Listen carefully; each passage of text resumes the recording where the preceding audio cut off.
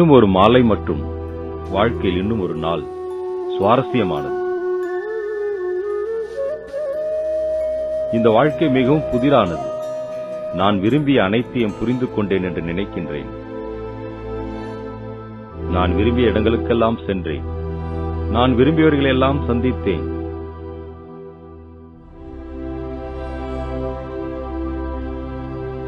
இந்த உலகம் மக்கள் ஆச்சரியமாக இருக்கிறது. இன்னும் வாழ்க்கையில் கற்றுக்கொள்ள வேண்டியது நிறைய இருக்கிறது. எப்படியும் நான் அதை செய்வேன். ஆனால் ஒன்று மட்டும் இன்னும் புரியவில்லை. நான் தேடினேன் தேடினேன். ஆனால் இன்னும் அந்த அதிர்ஷ்டம் எனக்கு வரவில்லை. இறைவனை பற்றிய இந்த புரிதல் மட்டும் இன்னும் நிறைவேறவில்லை. நான் எத்தனையோ புத்தகங்களை படித்திருக்கின்றேன். ஆனால் என்னால் புரிந்து கொள்ள முடியாத அளவுக்கு இறைவன் என்ன சிக்கலானவரா? அல்லது ஒருவேளை என் மனம்தான் இறைவனை பற்றிய எளிமையான விஷயத்தை கூட புரிந்து கொள்ள முடியாத அளவுக்கு தெளிவில்லாமல் இருக்கிறதா? நான் அவரின் ஒரு நொடி தரிசனம் கிடைத்தால் அனைத்தையும் புரிந்து கொள்வேன் என்று நினைக்கின்றேன். அந்த பரமசக்தியை அறிந்து கொள்வதற்காக புனித நூல்கள் அனைத்து மதங்கள் மற்றும் நம்பிக்கைகளின் புத்தகங்கள் எதுவாக இருந்தாலும் படித்தேன். இதில் நான் கண்டறிந்த பொதுவான விஷயம் எதுவென்றால் இறைவன் ஒளி வடிவானவர் ஒளி ஒளி எங்கும் ஒளி நிரம்பியுள்ளது.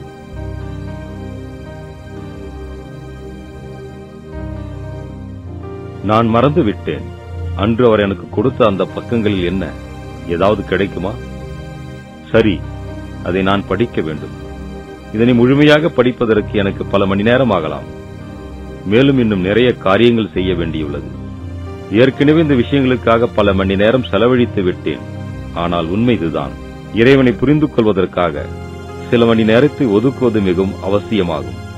இதுவும் எனது நன்மைக்கு தானே பழங்காலத்திலிருந்தே மனித குலம் சில நம்பிக்கையின் அடிப்படையில் பல காரணங்களுக்காக கடவுளை நோக்கி பார்க்கிறது.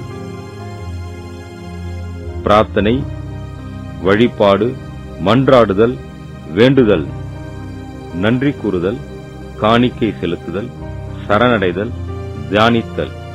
இவ்வாறு பல வழிகளின் மூலம் மக்கள் தங்களின் ஆழ்ந்த நம்பிக்கையை கடவுளின் மீதுள்ள அன்பை வெளிப்படுத்தி அவரை அடைய நேர்மையான முயற்சிகளை மேற்கொள்ளுகின்றனர். அவநம்பிக்கையின் போது நம்பிக்கையின் ஒலிக்கற்றையாக துன்பத்தின் போது நெருங்கிய மற்றும் அன்பானவர்களை பாதுகாப்பதற்காக இக்கட்டான மற்றும் நெருக்கடியான சூழ்நிலையை எதிர்கொள்ள வலிமையை தேடுவதற்காக மனித குலத்தின் நல்வாழ்வு மற்றும் அவர்களின் ஆசைகளை நிறைவேற்றுவதற்காக இறைவனே மகத்துவம் வாய்ந்தவராக இருந்தாலும் கடைசியில் தான் அவரை நினைவு செய்கின்றனர். இறைவன் தீவிரமான நம்பிக்கை கொண்டவர்களுக்கு பரம சக்தி மட்டுமல்ல அவர் அனைத்துமாக இருக்கின்றார். குறிப்பாக நெருக்கடியான காலத்தில் கொய்கொடுத்து தூக்குபவர் கஷ்டங்களிலிருந்து விடுவிப்பவர் முக்தி அளிக்கும் வல்லல் கண்ணில்லாதவர்களுக்கு உதவிகரமானவர். அநேக காரணங்களுக்கு நிவாரணம் அளிப்பவர் மேலும் அமைதி அளிப்பவர். இறைவன் தீவிரமான நம்பிக்கை கொண்டவர்களுக்கு பரமசக்தி மட்டுமல்ல அவர் அனைத்துமாக இருக்கின்றார். குறிப்பாக நெருக்கடியான காலத்திலே கை கொடுத்து தூக்குபவர் கஷ்டங்களிலிருந்து விடுவிப்பவர் முக்தி அளிக்கும் வல்லல் கண்ணில்லாதவர்களுக்கு உதவிகரமானவர் அநேக காரணங்களுக்கு நிவாரணம் அளிப்பவர் மேலும் அமைதி அளிப்பவர்.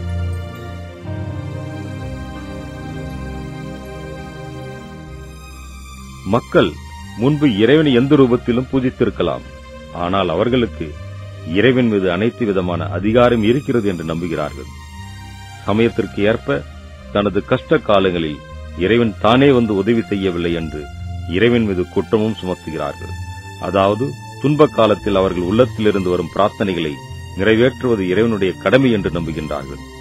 சிலர் கடவுளை தேடி அழுது அழுது அன்பின் விலைமதிப்பற்ற கண்ணீரை சிந்துகின்றார்கள். சத்தியமான உள்ளத்தோடு அழைத்த பின்பும் வரவில்லை என்றால் இனிமையான வேண்டுகோள் மற்றும் புகார்களை கூறுகிறார்கள். மேலும் அவரை தனது கண்களால் தரிசிக்க விரும்புகிறார்கள். ஆனால் அவ்வாறு முடிவதில்லை. விதுவான்கள் மற்றும் பண்டிதர்களுக்கு இறைவன் ஒரு சர்ச்சைக்கான மற்றும் ஆழமான சிந்தனை செய்வதற்கான விஷயமாகும். தர்ம சாஸ்திரங்கள் மற்றும் தத்துவ புத்தகங்களின் ஆதாரத்தில் இறைவனை பற்றிய அறிமுகம் மற்றும் விளக்கத்தை வெவ்வேறு விதமாக கூறுகின்றார்கள். சில மக்கள் இறைவனை விருந்தாளியாகிவிட்டனர். மக்கள் தேவைப்படும் போதெல்லாம் உதவிக்காக இறைவனை அழைக்கின்றார்கள். மற்றும் அவர்களின் விருப்பங்கள் நிறைவேறிய பிறகு மறந்து விடுகிறார்கள். அவரை மகிழ்ச்சியின் போது நினைவு செய்வதில்லை. ஆனால் கஷ்ட காலங்களில் இறைவன் நமக்கு உதவி செய்வார் என்று நம்புகிறார்கள். தங்களின் நிலைமையை புரிந்து கொண்டு தனது கருணை மற்றும் கிருபையின் மூலம் இறைவன் நம்மை கஷ்டங்களில் இருந்து விடுவிக்க வேண்டும் என்று நினைக்கின்றார்கள். இது வேறு வார்த்தைகளில் கூறுவதென்றால் அவசியமான நேரத்தில் இறைவன் அற்புதங்களை நிகழ்த்த வேண்டும் என்று விரும்புகிறார்கள். ஒருபுறம் சுகம் சாந்தி மற்றும் மகிழ்ச்சி அளிக்கும் இறைவனை மகிமை பாடுகின்றோம். ஆனால் மறுபுறம் தனது துன்பத்திற்கு காரணம் அவர்தான் என்று குற்றம் சாட்டுகின்றோம். இதில் சுவாரஸ்யமான விஷயம் என்னவென்றால் எந்த ஒரு கர்மம் செய்வதற்கு முன்பு இறைவனிடம் அனுமதியோ அல்லது ஆலோசனையோ பெறுவதில்லை. மேலும் நமக்கு பிடிக்காத நிகழ்வுகள் நடந்துவிட்டால் கடவுளை குற்றம் சுமத்தாமல் இருப்பதும் இல்லை மேலும் இறைவன் என் மீது கருணை காட்டவில்லை என்றும் கூறுகிறார்கள். இவ்வாறும் சிலர் கடவுளைக் கண்டு பயப்படுவர்களும் இருக்கிறார்கள். கடவுளை பற்றி கூறும்போது அன்பை காட்டிலும் அவர் நமக்கு சாபம் விடுவாரா? கோபப்படுவாரா என்ற பயமே அதிகமாக இருக்கின்றது. ஆனால் அதே நேரம் கடவுள் மீது ஆழமான பக்தி உணர்வும் உள்ளது. இவ்வாறான மனிதர்களும் இருக்கின்றார்கள். ஒவ்வொரு விஷயத்திற்காகவும் இறைவனுக்கு நன்றி கூற மறப்பதில்லை. ஏனென்றால் நாம் பெற்ற அனைத்தும் இறைவன் கொடுத்தது என்று நம்புகிறார்கள். மேலும் சிலர் தனது கடமையாக உணர்ந்து இறைவனை பிரார்த்தனை செய்கிறார்கள். அதாவது தனது குடும்ப பாரம்பரியத்தை உயிரோட்டமாக வைப்பதற்காக செய்கிறார்கள். அநேகமானவர்கள் மகான் புருஷர்களை இறைவனாக பார்க்கிறார்கள். பிறரை காட்டிலும் அந்த மகான்களின் நிலை உயர்வானதாக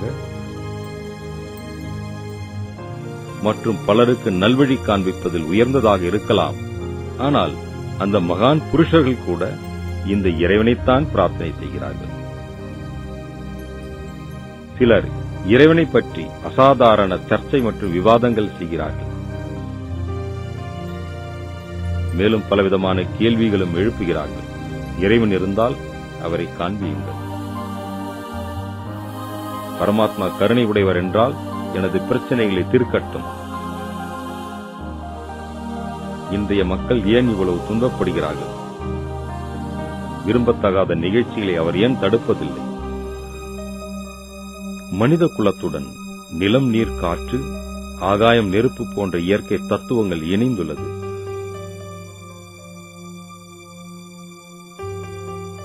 சூரியன் சந்திரன் என பல்வேறு கிரகங்கள் எப்பொழுதும் அழியாததாக உள்ளது.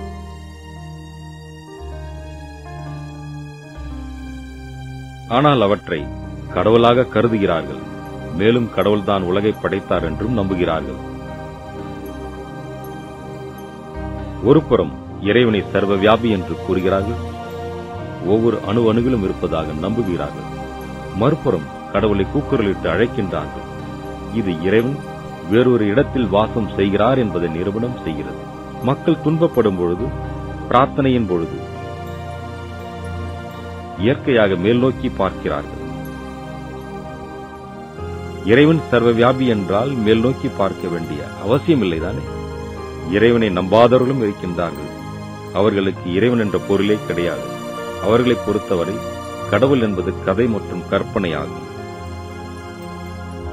மேலும் இறைவனை நம்பாத சிலர் ஒரு தெய்வீக சக்தி இருப்பதை நம்புகிறார்கள்.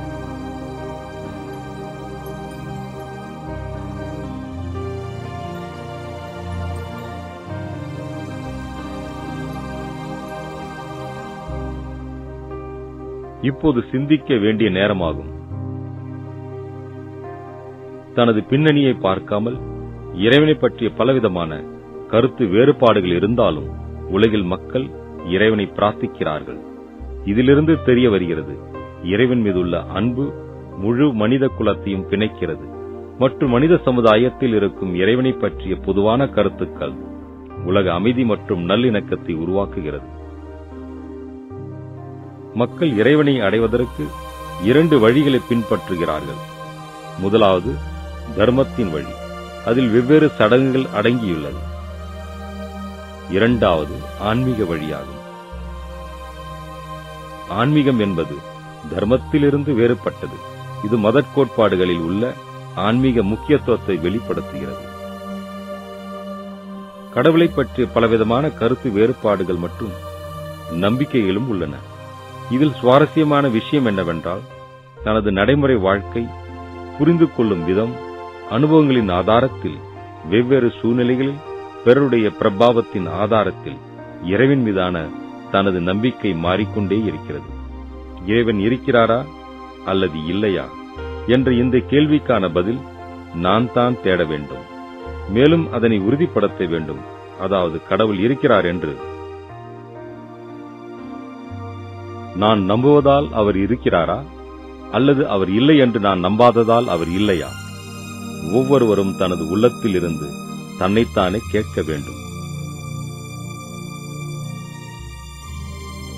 இறைவனை பற்றி என்னுடைய சுய கருத்து மாற்றத்தின் மூலம் பரமாத்மாவின் குணத்தில் மாற்றம் ஏற்படுமா என்ன? நான் யதார்த்தமான உண்மையை அறிய விரும்புகிறேனா? அல்லது என்னுடைய கற்பனையின் விசுவாசத்தில் பிறரை பிரபாவிப்பதற்காக வெவ்வேறு காரியத்தின் ஆதாரத்தில் ஏற்கனவே உள்ள அனுபவத்தின் ஆதாரத்தில் கடவுளைப் பற்றிய இலக்கியங்கள் சித்தாந்தங்களின் ஆதாரத்தில் அல்லது மேலும் பிறருடைய வழியின் ஆதாரத்தில் எனது கோட்பாடுகளை உருவாக்கியுள்ளேனா? எனது சொந்த கருத்தை உருவாக்குவதற்கு பிறரின் கருத்தை நம்பியிருக்க முடியுமா? என்று தன்னைத்தானே கேட்டுக்கொள்ள வேண்டும். எனக்கு இறைவன் மீது தனிப்பட்ட முறையில் அன்பு உள்ளதா? அல்லது நான் பார்த்த பலரில் அவர் ஒருவரா? நான் இறைவனிடம் நெருக்கமான சம்பந்தம் வைக்க விரும்புகிறேனா? அல்லது அவரை பற்றிய சாதாரணமான அறிவை பெற்று இருப்பதில் திருப்தி அடைகிறேனா? தன்னைத்தானே இவ்வாறு கேட்க வேண்டியது அவசியமாகும். அதாவது இறைவனை பற்றிய தனது கற்பனை மற்றும் புத்தியின் ஆதாரத்தில் தெரிந்து கொள்ள விரும்புகிறேனா? அல்லது அவர் எப்படியோ அப்படியே அந்த ரூபத்தில் தெரிந்து கொள்ள விரும்புகிறேனா? பரமாத்மா யார்? அவரை எப்படி அனுபவம் செய்வது? அவரை எப்படி அடைவது? அவருடன் சம்பந்தம் எப்படி ஏற்படுத்துவது? என்ன இந்த பௌதிக கண்கள் மூலம் இறைவனை பார்க்க முடியுமா? நாம் இறைவனாக முடியுமா? என்ன யாராவது இறைவனுடன் கலந்துவிட முடியுமா?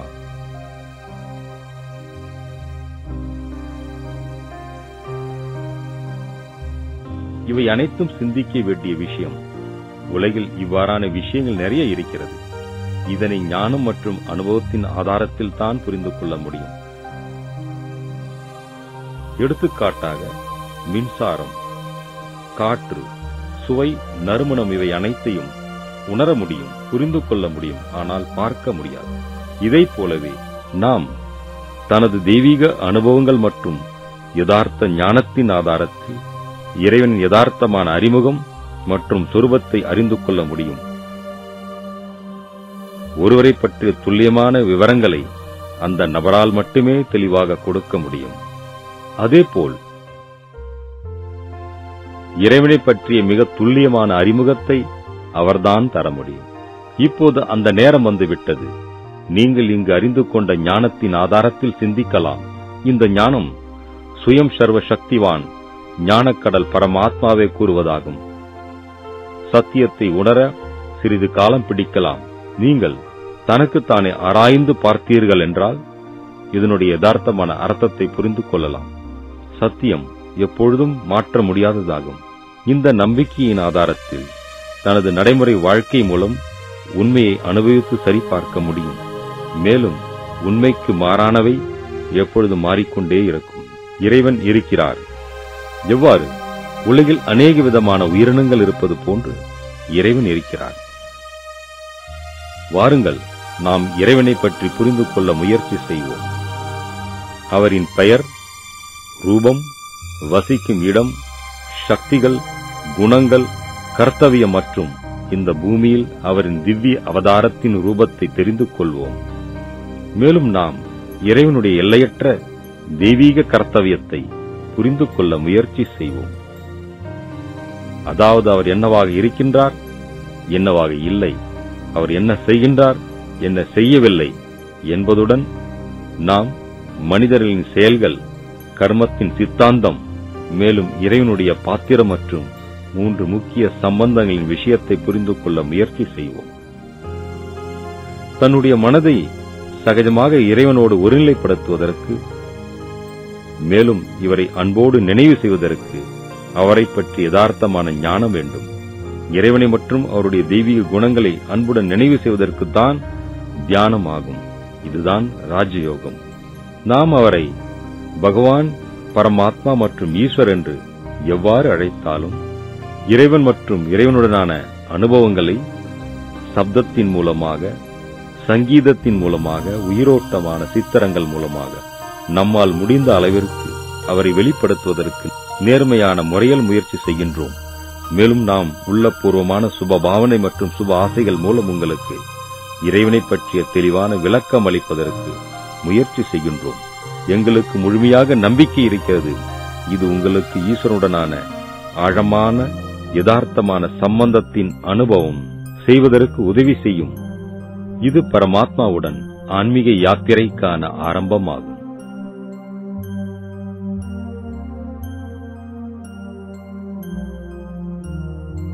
வாருங்கள் நாம் இறைவனின் யதார்த்தமான பெயர் மற்றும் ரூபத்தை புரிந்து கொள்ள முயற்சி செய்வோம். இறைவன் அதிசூட்சமான திவ்ய ஒளி புள்ளி மற்றும் சக்தி சுரூபமானவர். அவர் சைத்தன்யமான ஜோதி பிந்து.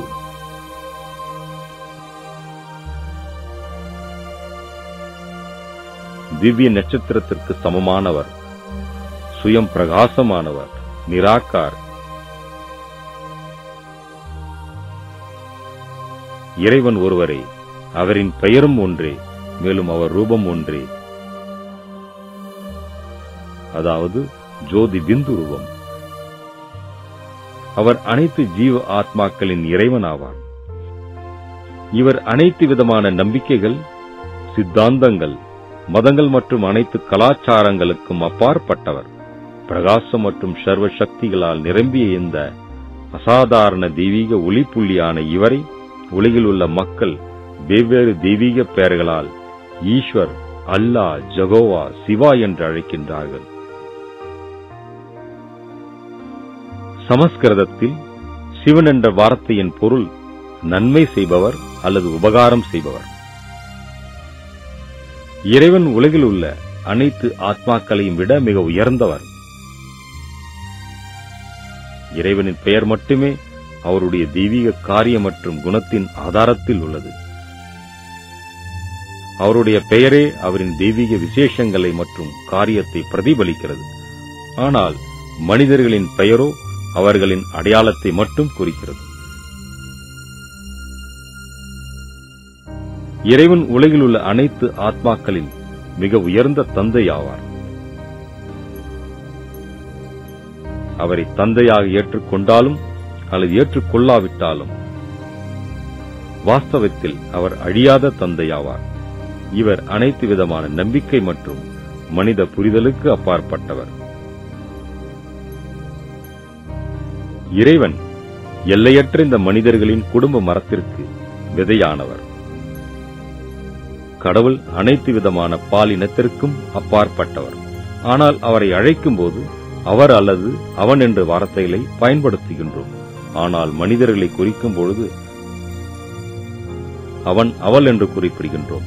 இயற்கையாக இறைவனை அழைக்கும் போது அவர் என்ற வார்த்தையில் தான் அழைக்கின்றோம்.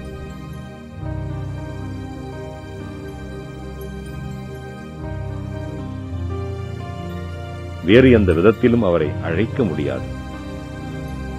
ஆனால் உடலுள்ள அனைவரும் இந்த விதி வரம்புக்குள் தானாகவே வந்து விடுகின்றார்கள். ஆனால் இறைவன் எவ்விதமான விதி வரம்பிற்கு வருவதில்லை. ஏனென்றால் அவர் உடலற்ற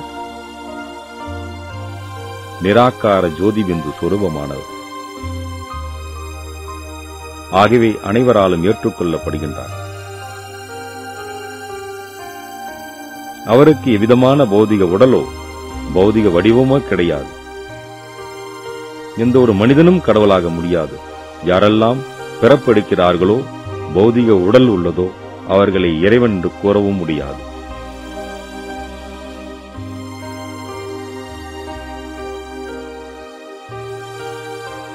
இறைவன் பிறப்பெருப்ப சக்கரத்திலிருந்து விடுபட்டவர். கடவுள் தந்தையாவார். அனைத்து ஆத்மாக்களும் அவருடைய குழந்தைகள். எந்த ஒரு குழந்தையும் தனக்குத்தானே தந்தையாக முடியாது. அதேபோல் எந்த ஒரு மனிதனும் கடவுளாக முடியாது. ஆத்மா மற்றும் பரமாத்மா இரண்டும் வெவ்வேறான சக்திகள். கடவுள் மிக உயர்ந்தவர். அவர் அனைவருக்கும் தந்தையாவார். ஆனால் இறைவனுக்கோ தாய் தந்தை என்றும் யாரும் கிடையாது.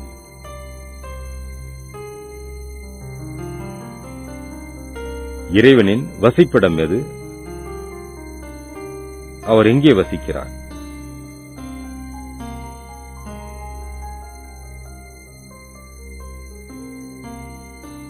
நாம் அனைத்து ஜீவராசிகளும் பௌதிக பொருளால் ஆகிய இந்த சாக்கார உலகில் வாழ்கின்றோம். இதில் சூரியன் சந்திரன் எண்ணற்ற நட்சத்திரங்கள் பூமி மற்றும் இதுவரை கண்டுபிடிக்கப்படாத கண்டுபிடிக்கப்பட்ட ஜீவன் பௌதிக பொருள்களும் அடங்கும். இந்த பௌதிக உலகிற்கு அப்பால் அமைதியான உலகம் உள்ளது. அதனை பரந்தாமம் என்றும் அழைக்கின்றோம். அது செம்பொன் நிறத்தால் ஆகிய பறந்து விரிந்த உலகமாகும். இதனை பிரம்மாண்டம் என்றும் அழைக்கின்றோம். அந்த உலகிற்கு காலமோ எல்லையோ கிடையாது. அதாவது நேரம் தூரம் நிறை எடை பௌதிக அளவுக்கோல் எதுவும் அந்த உலகிற்கு பொருந்தாது. அது முற்றிலும் பரம அமைதி மற்றும் மௌனம் நிறைந்த உலகம். அந்த உலகில்தான் இறைவன் பரமாத்மா வாசம் செய்கிறார்.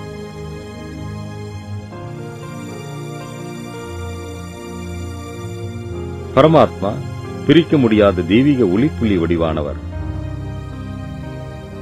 பரந்தாமத்தில் வசிப்பவர். அவர் எல்லா இடங்களிலும் வியாபித்திருக்கவில்லை. மக்கள் இறைவனை அழைக்கும் போது எப்பொழுதும் மேல் நோக்கித்தான் பார்ப்பார்கள்.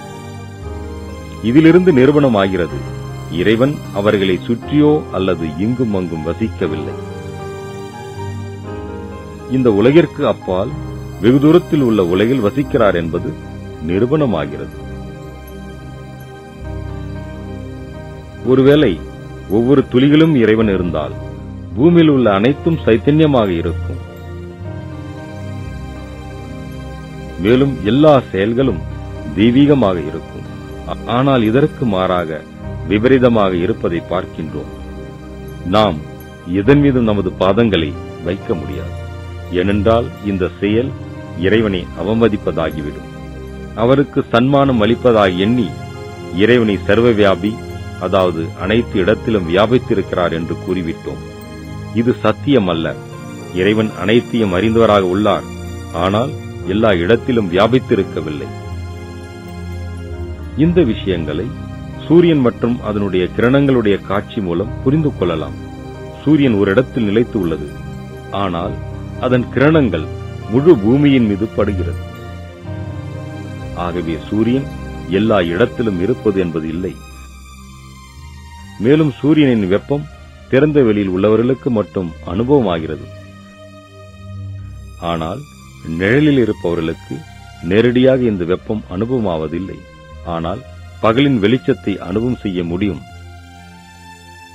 இதேபோல் இறைவன் ஒரே ஒரு இடம் பரந்தாமத்தில் இருக்கின்றார் அவரிடமிருந்து தெய்வீக ஒளியின் சக்தி ஞானம் அன்பு அமைதி சுகம் தூய்மை மற்றும் ஆனந்தத்தின் அனைத்து குணங்களின் அதிர்வலைகள் நிரந்தரமாக முழு அண்டமும் பரவிக்கொண்டே இருக்கிறது.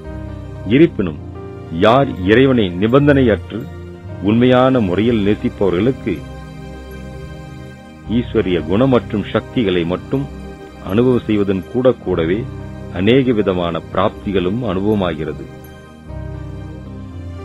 இறைவனுடைய நினைவில் மற்றும் அன்பில் யார் எந்த அளவு உள்ளார்களோ அவர்களுக்கு அந்த அளவு அனுபவமாகிக் கொண்டே இருக்கும். பரமாத்மாவின் தெய்வீக குணங்கள். இப்பொழுது பரமாத்மாவின் தெய்வீக குணங்களை பற்றி விவாதிப்போம். இதன் கூட கூடவே அந்த தெய்வீக குணங்களை தானும் அனுபவம் செய்ய முயற்சி செய்வோம். பரமாத்மாவிடம் ஒவ்வொரு குணத்தின் எல்லையற்ற குறைவில்லாத பொக்கிஷங்கள் உள்ளது. அது அனைத்து மனிதர்களின் விருப்பங்களை பூர்த்தி செய்ய வல்லது.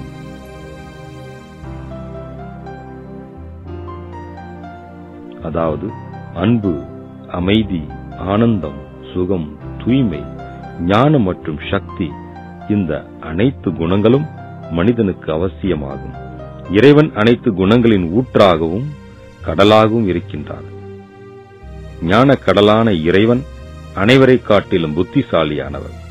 அவர் சர்வ சக்திகளின் கடலானவர். ஆகவே அவரை சர்வ சக்திவான் சர்வ வல்லமை படைத்தவர் என்றும் அன்பின் கடலான அவரை அன்பே சிவன் என்றும் அழைக்கின்றார்கள்.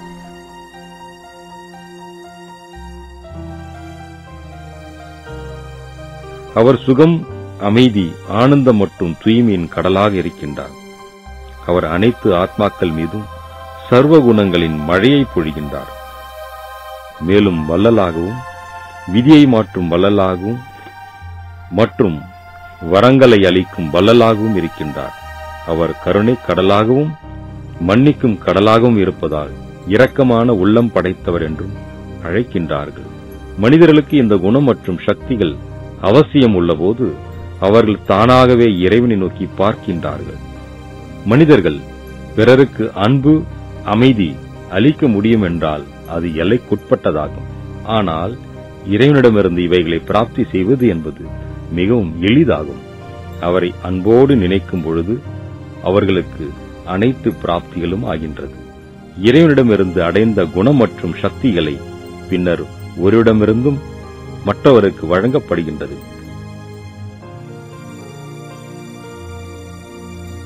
பரமாத்மா பதிதமானவர்களை பாவனமாக்குபவர். இந்த பூமியில் அமைதியை உருவாக்குபவர். துன்பம் நிறைந்த இந்த உலகை சொர்க்கமாக்குபவர். ஆகவே பரமாத்மாவை துன்பத்தில் இருந்து சுகமளிப்பவர். மனிதர்களை சர்வ உத்தமமான தேவதையாக்குபவர். தெய்வீக பார்வையை அளிப்பவர் என்று மகிமை பாடுகின்றோம். இறைவன் ஒருவரே காலத்தினை சாட்சியாக பார்க்கக்கூடியவர். இந்த சிருஷ்டியின் முதல் இடைக்கடையை அதாவது முக்காலத்தையும் அறிந்தவர். அவர் யதார்த்தமாக நிகழ்காலம் கடந்த காலம் மற்றும் எதிர்காலத்தை பற்றி கூற முடியும்.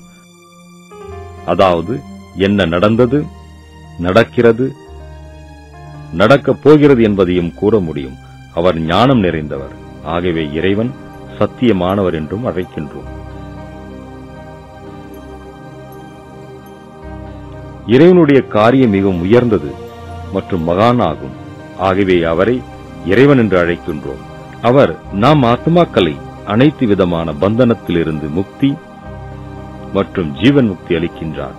ஆகவே இவரை முக்தி ஜீவன் முக்தி அளிக்கும் வல்லல் பதிதமானவர்களை பாவனமாக்குபவர் என்று அழைக்கின்றோம். இறைவனுடைய மகிமையை கூறும் பொழுது முழு உலகத்தையும் காகிதமாக்கினாலும் அனைத்து கடல் நீரை மையாக்கினாலும் அனைத்து மரங்களை அழித்து எழுதுகோலாக்கினாலும் அவரின் தெய்வீக காரியத்தை மற்றும் உயர்ந்த மகிமையை வர்ணிக்க முடியாது.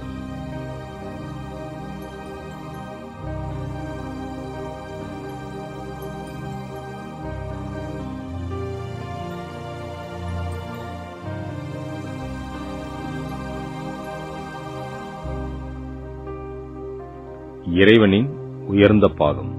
இப்பொழுது இறைவனின் உயர்ந்த பாகத்தை பற்றி ஆராய்வதற்கான நேரம் வந்துவிட்டது.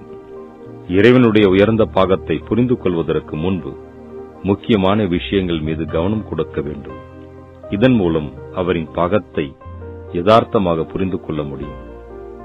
அவைகள் ஆத்மா பரமாத்மா மற்றும் இயற்கையாகும். இந்த மூன்று சக்திகளும் அனாதி காலத்திலிருந்து அழியாததாக இருக்கின்றது. வாருங்கள் இதனை பற்றி சர்ச்சை செய்வோம். நிலம் நீர் காற்று ஆகாயம் மற்றும் நெருப்பு ஆகிய இந்த ஐந்து தத்துவங்களும் இயற்கையாகும்.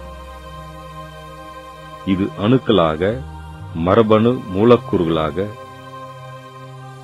அனைத்து உயிரினங்களின் உடல்களிலும் தாவரங்களிலும் அனைத்து பொருள்களிலும் அடங்கியுள்ளது. ஆனால் இதன் வடிவம் அளவு மற்றும் குணாதிசயங்களில் அவ்வப்போது மாற்றங்களுக்கு உள்ளாகின்றது. ஒவ்வொரு உயிரினத்திலும் சைத்தன்ய சக்தியாக இருப்பது ஆன்மா ஆகும். ஆன்மா அழியாதது இது பிறப்பிறப்பு சுழற்சியில் வருகிறது. இவ்வாறு வரும்பொழுது சுதோ பிரதான நிலையிலிருந்து தமோ பிரதான நிலைக்கு மாறுகிறது. பரமாத்மா ஆதி அனாதி காலத்திலிருந்து நிரந்தரமாக இருப்பவர். இவர் எவ்வித மாற்றத்திற்கும் அப்பாற்பட்டவர். இவர் பிறப்பிறப்ப சக்கரத்தில் வருவதில்லை. இவர் அனைத்திலும் முழுமையடைந்தவர். மேலும் நாம் கற்பனை செய்ய முடியாத அளவிற்கு அனைத்து தெய்வீக நற்பண்புகளில் நிறைந்தவர். அவர் அனைத்து விதமான பிரபாவத்திலிருந்து விடுபட்டவர். அவர் எவ்விதமான மாற்றத்திற்கும் உட்படாதவர்.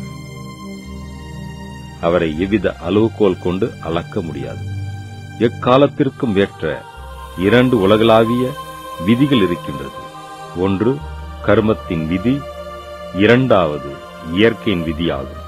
இந்த விதிகள் என்ன? நம்மை அது எவ்வாறு பாதிக்கிறது? இவ்விதிகள் மூலம் இறைவன் என்ன செய்கின்றார் மற்றும் என்ன செய்யவில்லை என்பதை புரிந்து கொள்ள முடியும். ஆன்மா உடலில் எதுவரை இருக்கிறதோ அதுவரை பிராணி உயிருடன் இருப்பதாகும். ஆன்மா நீங்குவது மூலமாக அது சுவாசத்தை இழக்கிறது. எவ்வாறு மனித உடலில் மனித ஆத்மா உள்ளதோ அதே போல் அனைத்து உயிரினங்களிலும் பசு பறவி அனைத்திலும் ஆத்மா உள்ளது. ஆனால் நாம் மனிதர்களை பற்றி மட்டும் இங்கே சர்ச்சை செய்வோம். அனைத்து மனித இனமும் இயற்கை மற்றும் கர்மத்தின் விதிக்கு உட்பட்டவர்கள். இயற்கையின் விதியானது பிறப்பு இறப்பு காலத்தின் சக்கரம் வாழ்க்கை இவை அனைத்தும் இயற்கை விதியுடன் தொடர்புடையதாகும். கர்மத்தின் விதியானது மனிதன் செய்யக்கூடிய கர்மங்களுடன் தொடர்புடையதாகும். கர்ம சித்தாந்தத்தின்படி மனிதன் செய்யக்கூடிய கர்மங்களின் ஆதாரத்தில் சுகம் மற்றும் துக்கத்தை அனுபவம் செய்கின்றான். ஒவ்வொரு உயர்ந்த கர்மத்திற்கும் வெகுமதி மற்றும் தவறான கர்மத்திற்கு தண்டனையும் அனுபவம் செய்கின்றோம். ஆகவே வினை விதைப்பவன் வினை அறுக்கின்றான் என்று கூறுகின்றோம். சில செயல்களின் பலன் உடனடியாகும். சில செயல்களின் பலன் குறிப்பிட்ட காலத்திற்கு பிறகு இந்த பிறவியில் அல்லது அடுத்த பிறவிகளில் கிடைக்கின்றது. இந்த கர்மத்தின் விதியானது மிக ஆழமானது. எந்த கர்மத்தின் பரிணாமம் எப்பொழுது நம்முன்னே வரும் என்பதை உறுதியாக கூற முடியாது. ஏனென்றால் நாம் முன்பு என்ன கர்மம் செய்தோம் என்று தெரியாது. ஆனால் கர்மத்தின் விதியானது அனைவர் மீதும் பாரபட்சமின்றி செயல்படுகின்றது. ஆகவே எப்பொழுதும் நீதி இருக்கிறது. எல்லோரும் இந்த ஆழமான விதி மூலம் ஆளப்படுகின்றோம். இதில் யாரும் தப்பிக்கவோ சாக்குப்போக்கு கூறவோ முடியாது. சர்வ சக்திகளின் இறைவன் அனைவரையும் விட சக்திசாலியானவர். அவர் எந்த விதிக்கும் உட்பட்டவர் அல்ல. இருப்பினும் அவர் எந்த இயற்கையின் விதிகளிலும் தலையிடுவதும் இல்லை மற்றும் கர்மத்தின் விதியை மீறுவதும் இல்லை மனிதர்களின் எண்ணம் வார்த்தை மற்றும் கர்மங்களின் பிரபாவம் பிற மனிதர்கள் பிராணிகள் மற்றும் இயற்கையின் மீதும் படுகின்றது. ஒவ்வொரு நற்கர்மங்களும் மனிதனுக்கு உள்முகமான மகிழ்ச்சி சந்தோஷம் மற்றும் சாந்தியை அளிக்கின்றது. இவர்களின் உயர்வான காரியத்திற்கு இயற்கையும் சகயோகம் அளிக்கின்றது. இதே போன்று தவறான செயல்கள் செய்பவரின் உள்ளத்திற்கு துன்பம் மற்றும் அசாந்தி ஏற்படுகின்றது. இதன் கூடவே அவருடன் இருப்பவர்களுக்கும் அதனுடைய பிரபாவம் ஏற்படுகிறது. மனித உடல் இயற்கையின் ஐந்து தத்துவத்தால் உருவானது. ஆகவே மனித உடலின் துர்ப்பிரயோகம் இயற்கையையும் துர்ப்பிரயோகம் செய்வதாகும். அதாவது இந்த தத்துவங்கள் இயற்கையின் சீற்றமாக வந்து மனிதனை பழிவாங்குகிறது.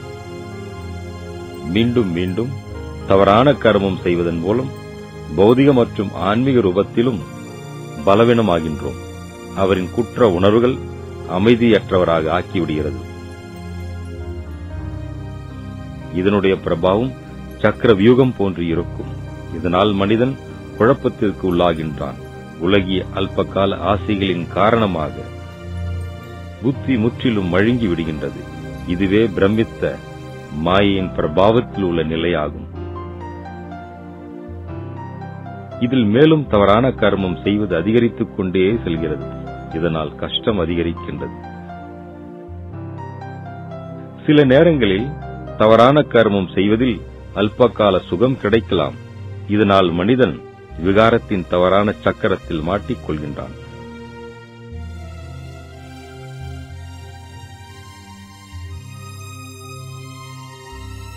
இதன் பரிணாம சொரூபம் தண்டனையின் குற்ற உணர்வு அனுபவமாகிறது. இயற்கையினுடைய விதி மற்றும் கர்மத்தினுடைய விதியை நினைவில் வைத்து இப்பொழுது இறைவனின் பாகத்தை புரிந்து கொள்வோம். இந்த துர்பாக்கியமான சூழ்நிலையிலிருந்து வெளிவர இறைவனை தவிர வேறு யாரையும் சார்ந்திருக்க முடியாது. ஒருவேளை மனிதன் இறைவனிடம் உதவி கேட்கலாம் அல்லது கேட்காவிட்டாலும் தனது தவறுகளை உணர்ந்தவர்களுக்கு அவரின் உதவி தானே கிடைக்கும். இப்பொழுது இறைவனின் பாகத்தை புரிந்து கொள்வோம். இந்த துர்பாக்கியமான சூழ்நிலையிலிருந்து வெளிவர இறைவனை தவிர வேறு யாரையும் சார்ந்திருக்க முடியாது. கூடவே துன்பத்திலிருந்து நிவாரணமும் கிடைக்கின்றது. என்ன இறைவன் எப்பொழுதும் உதவி செய்வதில்லையா? அவர் இப்பொழுது மட்டும் இல்லை எப்பொழுதும் உதவிக்காக தயாராக இருக்கின்றார். ஆனால் அவ்வப்போது நமது அஞ்ஞானம் கவனக்குறைவு வெளி உலகத்தின் பிரபாவம் உள்முக பலவீனங்கள் தன் மீது கவனம் இல்லாததால் இறைவனின் அறிகுறிகளை மற்றும் எச்சரிக்கையை பார்த்தும் பார்க்காமல் இருந்து விடுகின்றோம். நாம் செய்யும் மிகப்பெரிய தவறு இறைவனின் வழிப்படி நடக்காமல் தங்களின் விருப்பம் போல் செய்கின்றோம். இறைவனின் செய்கைகளை புரிந்து கொள்வதற்கு மனம் மற்றும் புத்தி எப்பொழுதும் தெளிவாகவும் மேலும் சுத்தமாகவும் இருக்க வேண்டும். கர்மத்தின் சித்தாந்தத்தை அவ்வப்போது ஏற்றுக்கொள்வது மிக கடினமாக உள்ளது. மனிதன் இப்பிறவி மற்றும் முற்பிறவிகளில் செய்த கர்மங்களை பற்றி அறியாததும் மேலும் மாணவ ஜாதி கீழ்நோக்கி செல்வதற்கு விகாரங்கள் காரணமாக இருக்கின்றது. இதில் இறைவனுக்கு எவ்வித பங்கும் இல்லை. கர்ம சித்தாந்தத்தின் ஞானம் இறைவனை பற்றிய தவறான நம்பிக்கையை தெளிவாக்குகிறது. இறைவன் யாரையும் தண்டிப்பதும் சபிப்பதும் யாரையும் எதிர்மறையாக தவறான கர்மம் செய்வதற்கும் தூண்டுவதில்லை. இறைவன் இயற்கையின் பலவிதமான சீற்றங்களாகிய பூகம்பம் வெள்ளம் சுனாமி சூறாவளி ஆகியவற்றிற்கு காரணமாவதில்லை. அவர் எந்த ஒரு ஆத்மாவிற்கும் துன்பம் கொடுப்பதும் இல்லை மேலும் யாரையும் கோபிப்பதும் இல்லை அனைத்து ஆத்மாக்களின் தந்தையான அவர் அவ்வாறு செய்வதில்லை. அவர் அனைவரையும் நேசிப்பதுடன் சுகத்தையும் கொடுக்கின்றார். ஆனால் மக்கள் முரண்பாடாக இறைவன் மீது வெவ்வேறு விதமான குறைகளை கூறுகிறார்கள். உண்மை எதுவென்றால் அவர் ஒருவர் மட்டும்தான் பாதுகாவலர். அவர் அனைவர் மீதும் இரக்கம் காட்டுபவர் அன்பை பொழிபவர் அனைவரையும் முன்னேற்றம் செய்பவர் தைரியம் அளிப்பவர். இறைவனுடைய உதவி நமது பழைய கணக்குகளை எதிர்கொள்வதற்கும் மேலும் அதனை முடிப்பதற்கும் சக்தி கொடுக்கின்றார். நாம் அவர் மீது விசுவாசம் வைத்தாலும் வைக்காவிட்டாலும்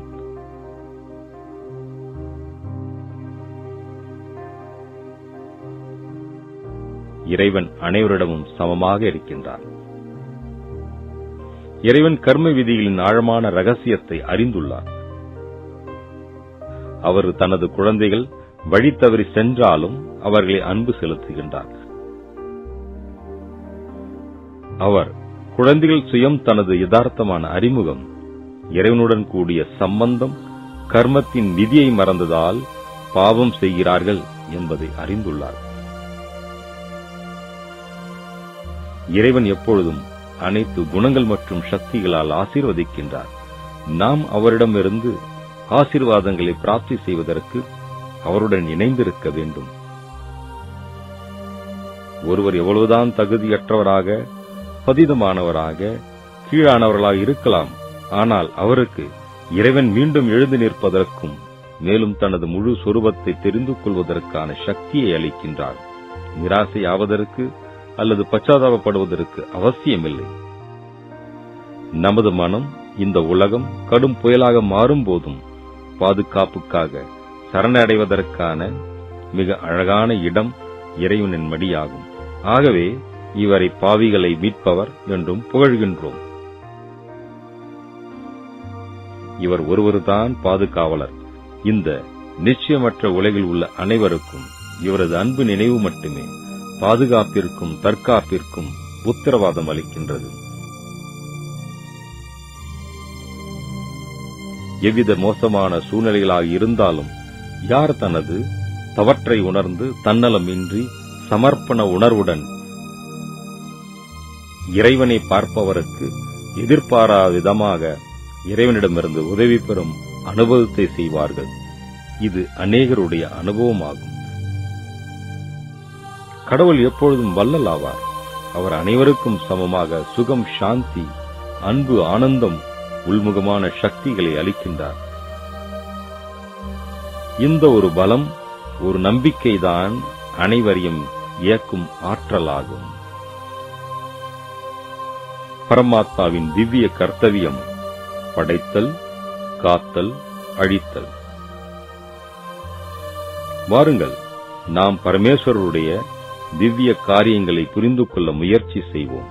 அவரின் தெய்வீக செயலாகிய முழுமையான அமைதி மற்றும் மகிழ்ச்சி நிறைந்த புதிய உலகை உருவாக்குவது அந்த புதிய உலகை காப்பது மற்றும் துன்பம் நிறைந்த இந்த பழைய உலகை அழிப்பதாகும்.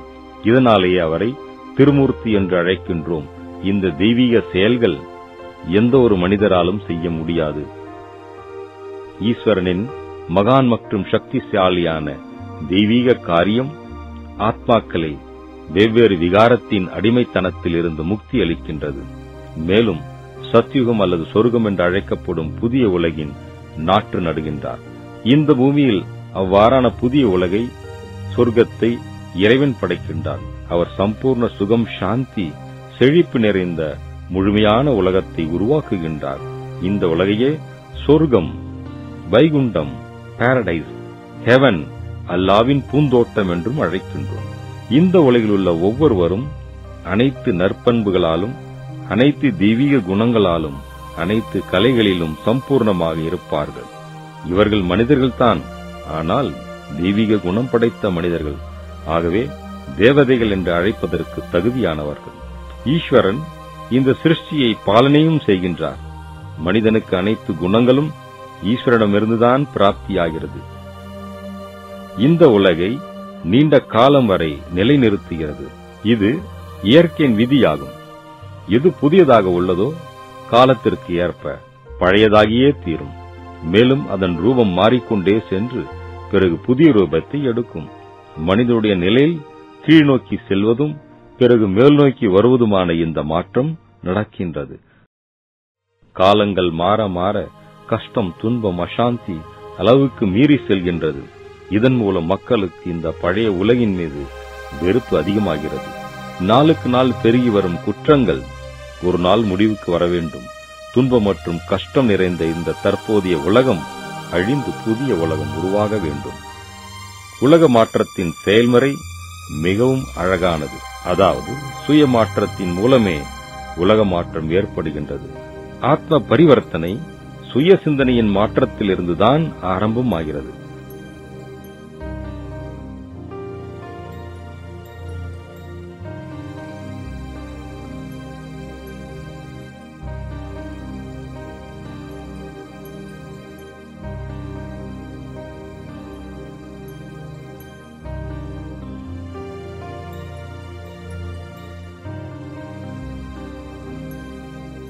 பிறகு இந்த மாற்றம் மனதில் சம்பந்தத்தில் செயல்பாடுகளில் மற்றும் வாழ்க்கை முறையில் மாற்றம் வருகிறது. அதாவது சம்பூர்ண வாழ்வில் தெய்வீக மாற்றம் வருகிறது. இது பழைய வீட்டை இடித்து புதிய வீட்டை கட்டுவது போல் ஆகும். நமது வெளி உலகம் நமது உள் உலகின் வெளிப்பாடாகும். எவ்வாறு நமது எண்ணங்களோ அவ்வாறு நுட்பமான அதிர்வலைகள் உருவாகும். உலக மாற்றத்தை ஏற்படுத்தக்கூடிய ஆத்மாக்களின் நுட்பமான சுபமான அதாவது நேர்மறையான எண்ணங்களின் அலைகள்.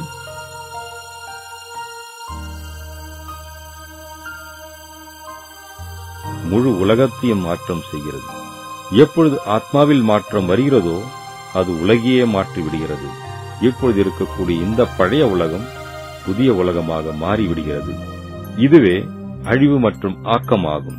யதார்த்த முறையில் கூறுவோமானால் இதுதான் உலக மாற்றமாகும்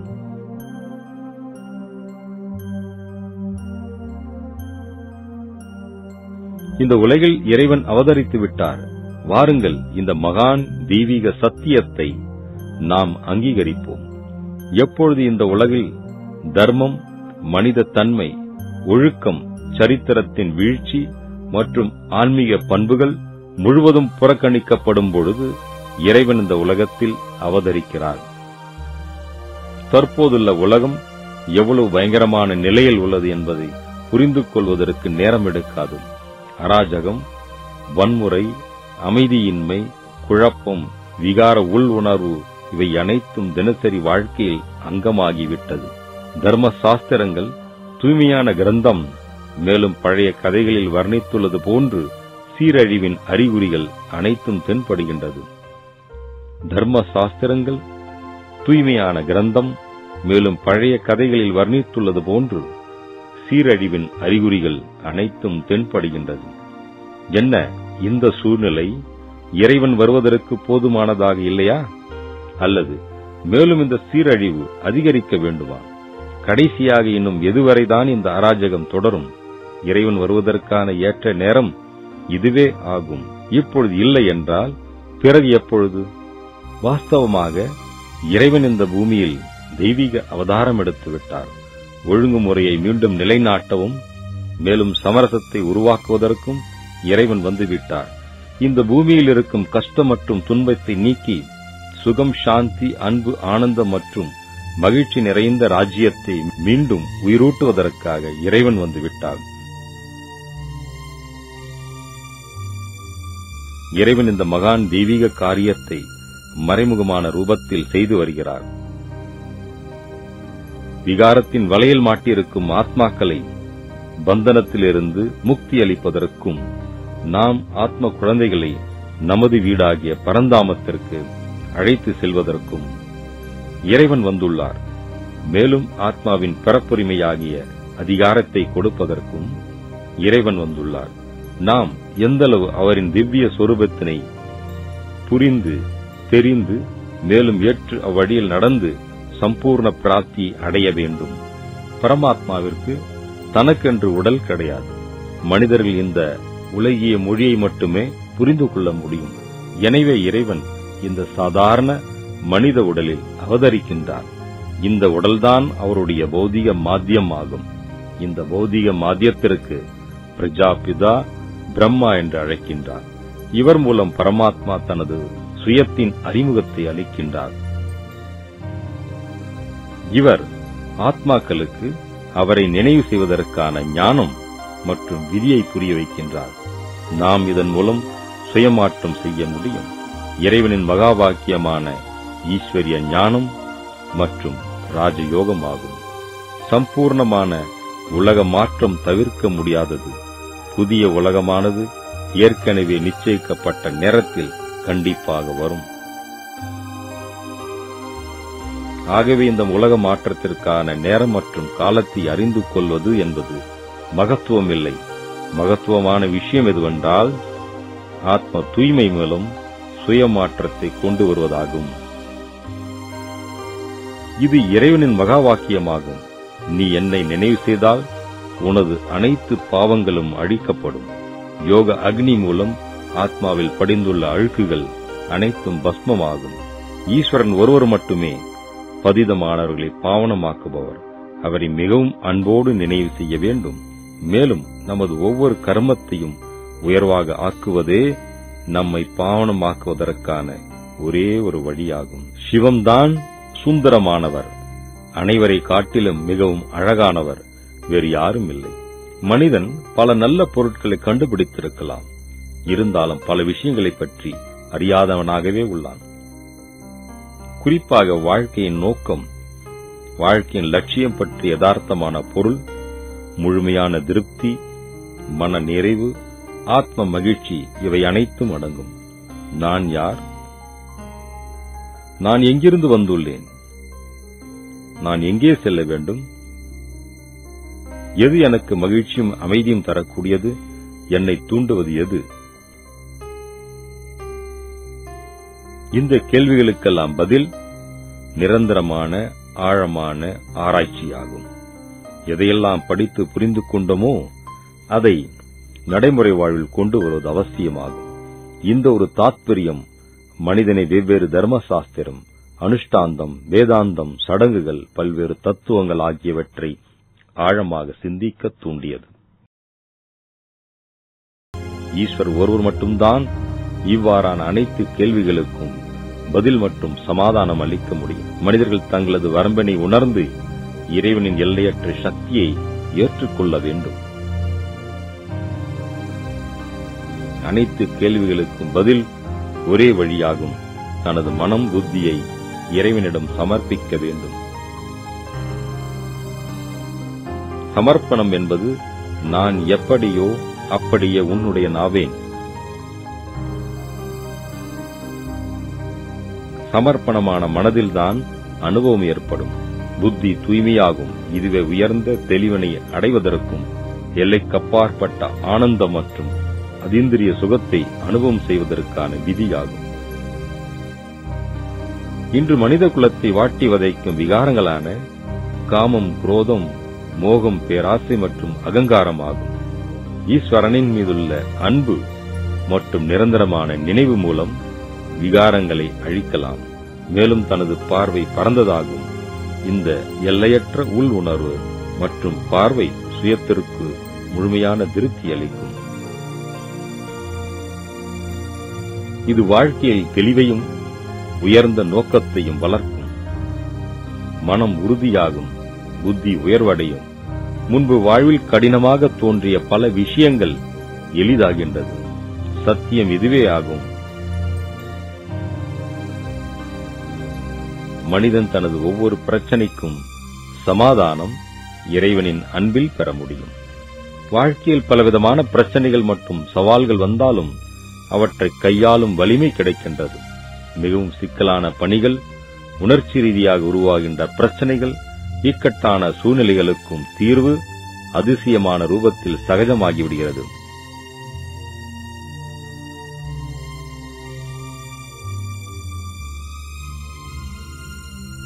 உண்மையான விஷயம் எதுவென்றால் இப்பொழுது பிரச்சனைகள் கண்களுக்கு தெரிவதில்லை. அதற்கு பதிலாக மனதிற்கு மகிழ்ச்சி அளிக்கக்கூடிய ஆனந்தம் அளிக்கக்கூடிய விளையாட்டாக மாறுகிறது. இதில் நாம் மகிழ்வோடு கலந்து கொண்டு ஆனந்தத்தை வாழ்வில் அடையலாம். மனித வாழ்வில் இதைவிட அதிகமாக வேறென்ன வேண்டும்? வாழ்க்கை அர்த்தமுள்ள வாழ்க்கையாக மாறிவிடுகிறது. இதில் நோக்கம் லட்சியத்தின் பிராப்தி மற்றும் திருப்தி அடங்கியுள்ளது. இறைவன் அமைதி கருணை அன்பு தூய்மை மற்றும் சக்திகளின் தெய்வீக வரங்களை ஒவ்வொருவருக்கும் ஒவ்வொரு நேரத்திலும் கொடுத்துக் கொண்டே இருக்கின்றார். முழு பிரபஞ்சத்திலும் இறைவன் ஒருவரே மிகவும் அழகானவர். அழகு என்பது அனைவரையும் தன் பக்கம் இழுக்கக்கூடிய ஒன்று. மேலும் இது மனதையும் தன் பக்கம் இழுக்கிறது. ஈஸ்வரன் மட்டும்தான் உண்மையில் சம்பூர்ண அழகுடையவர். ஆகவே அவரை சத்தியம் சிவம் சுந்தரம் என்று அழைக்கின்றோம். இவரின் அழகு கலங்கமற்றது. ஒருபொழுதும் மாறாதது குறையாதது. அனைவரையும் கவரக்கூடியவர் இவர் ஒருவர் மட்டும்தான். இவரின் அன்பு நிறைந்த நினைவு யாரை வேண்டுமானாலும் அழகால் பிரகாசிக்க வைக்கின்றது. இவரிடம் மட்டும்தான் ஆத்மாவிற்கு எல்லையற்ற அழகான வரதானம் கிடைக்கின்றது.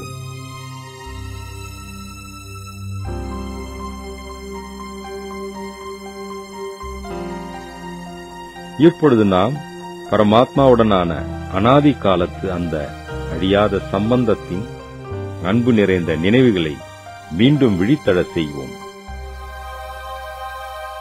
நாம் மனிதர்களுக்கு இடையேயான உறவுகளை நன்றாக அறிவோம். இதற்கு எவ்வித விளக்கமும் தேவையில்லை. சில சம்பந்தங்கள் உண்மையில் தூய்மையாக ஆன்மீக மற்றும் தன்னலமற்றதாக உள்ளது. இந்த அனுபவங்கள் இனிமையானதாக நினைவு சின்னமாகிறது. இருந்தபொழுதும் அனைத்து மனிதர்களின் உறவுகளுக்கு முக்கிய ஆதாரம் பௌதிக உடலாகும். ஆனால் யாரு முழுதும் உடலற்றவராக இருக்கின்ற அந்த பரமாத்மாவுடன் நாம் எவ்வாறு சம்பந்தம் ஏற்படுத்துவது? மனிதனுக்கு வெவ்வேறு விதமான நம்பிக்கைகள் இருந்த பொழுதும் ஈஸ்வரனை பிரார்த்தனை மற்றும் வேண்டுதல் செய்கின்றான். இதிலிருந்து நமக்கு ஈஸ்வரனோடு எவ்வளவு ஆழமான தொடர்பு மற்றும் ஆழமான உறவு உள்ளது என்பது நிறுவனமாகிறது. நாம் மனித உறவுகளுக்கு அப்பாற்பட்ட வகையில் இறைவனோடு சம்பந்தம் வைத்துள்ளோம். இது ஒரு தெய்வீகமான மற்றும் அழியாத சம்பந்தமாகும். நாம் பௌதிக தேக அபிமானம் மற்றும் தேக பந்தனத்திலிருந்து மேலே சென்று ஆராய வேண்டும். நாம் இறைவனோடு மிக ஆழமான தொடர்பை வைத்திருக்கின்றேன். இது ஆத்மா மற்றும் பரமாத்மா இருவருக்கும் உண்டான மிக நெருக்கமான நட்பாகும். நாம் இயல்பாகவே உடல் அல்ல நான் ஆத்மா என்ற இந்த உண்மையை ஏற்றுக்கொண்டு உணர வேண்டும். நான் ஆத்மா. இரு புருவங்களுக்கு மத்தியில் வாசம் செய்கின்றேன் என்ற இந்த உணர்வுக்கு பிறகுதான் பரமாத்மாவுடனான திவ்ய சம்பந்தத்தை ஆழமான உறவை புரிந்து கொள்ள முடியும்.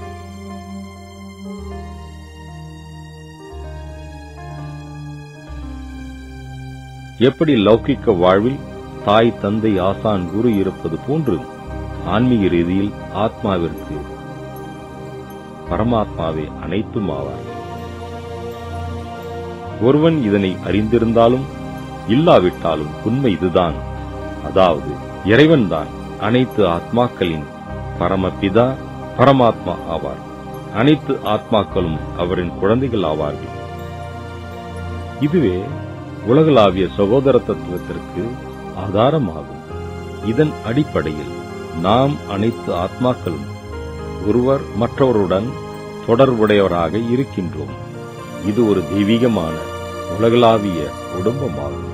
இந்த பூரணமான உண்மையை மறந்ததனால் மனிதர்களுக்கு இடையே துரதிருஷ்டவசமாக பகைமை மற்றும் ஒருவர் மற்றவருக்கு எதிரியாகின்றார்கள்.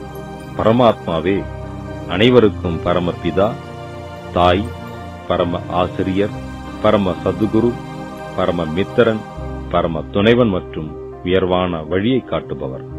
நம் வாழ்வில் ஒவ்வொரு சம்பந்தத்திற்கும் ஒரு தனிப்பட்ட மகத்துவம் இருக்கின்றது. எங்கே சம்பந்தமோ அங்கே அன்பு இருக்கும். இங்கு பரமாத்மாவுடன் மூன்று முக்கிய சம்பந்தம் இருக்கிறது. ஒன்று பரமபிதா பரம ஆசிரியர் பரம சத்குரு ஆவார். அவர் பரம தந்தையின் ரூபத்தில் ஆத்மாக்களுக்கு எல்லையற்ற அன்பு சாந்தி தூய்மை மகிழ்ச்சி மற்றும் அனைத்து சக்திகளையும் திவ்ய வரதானமாக அளிக்கின்றார். இந்த ஆஸ்தி நீண்ட காலமாக நம் கூடவே வரும். இது பல பிறவிகளுக்கு ஆத்மாவை சாந்தி மற்றும் மகிழ்ச்சியாக வைக்கிறது. பரம ஆசிரியர் ரூபத்தில் அதிசயமான ஞானத்தை அளிக்கின்றார். இந்த ஞானத்தின் மூலம் மனிதனிலிருந்து தேவதையாகின்றோம். பரம சத்குரு ரூபத்தில் அவர் நமக்கு மார்க்க தரிசனம் செய்கின்றார். மற்றும் நம்மை இனிமையான வீட்டிற்கு அதாவது மூலவத்தனமாகிய பரந்தாமத்திற்கு அழைத்து செல்கின்றார். எந்த ஒரு உறவையும் நிலை நிறுத்துவதற்கான அடிப்படை ஆதாரம். அன்பு விசுவாசம் மற்றும் மனதில் அந்த உறவினை பற்றிய நிரந்தரமான நினைவு வேண்டும். உதாரணமாக ஒரு குழந்தை இயற்கையாக சுபாவ ரூபத்தில் தனது தாய் தந்தையை தெரிந்துள்ளது. இவ்வாறு தனது சகோதரன் சகோதரி சொந்தம் பந்தம் ஆசிரியர்களையும் நண்பர்களையும் நினைப்பதற்கு யாரும் கற்றுத் தருவதில்லை. தானாகவே அவர்களின் நினைவு வருகிறது. மேலும் யாரெல்லாம் நமது வாழ்வில் உதவி செய்தார்களோ அவருக்கு நாம் கடமைப்பட்டவர்களாக உணர்கின்றோம். நாம் இதை புரிந்து கொள்ள வேண்டும். இந்த விஷயம் இறைவனோடு கூடிய சம்பந்தத்திலும் ஒத்து வருகிறது.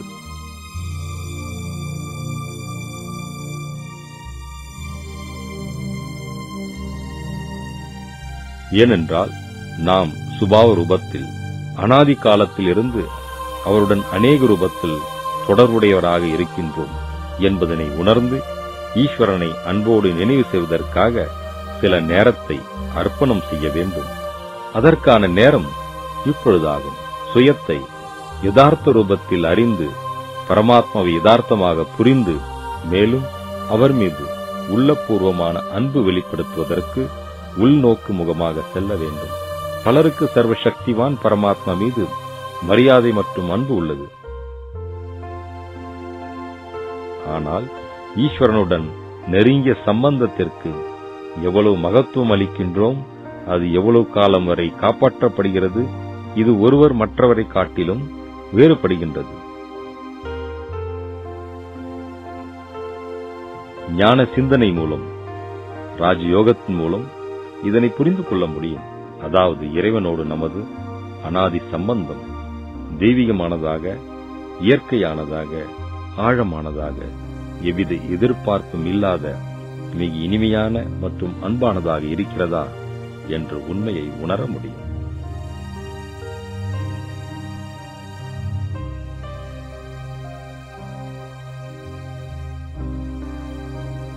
பரமாத்மா சந்திப்பில் வரக்கூடிய தடைகள் மற்றும் அதில் வெற்றி பெறுவது எப்படி?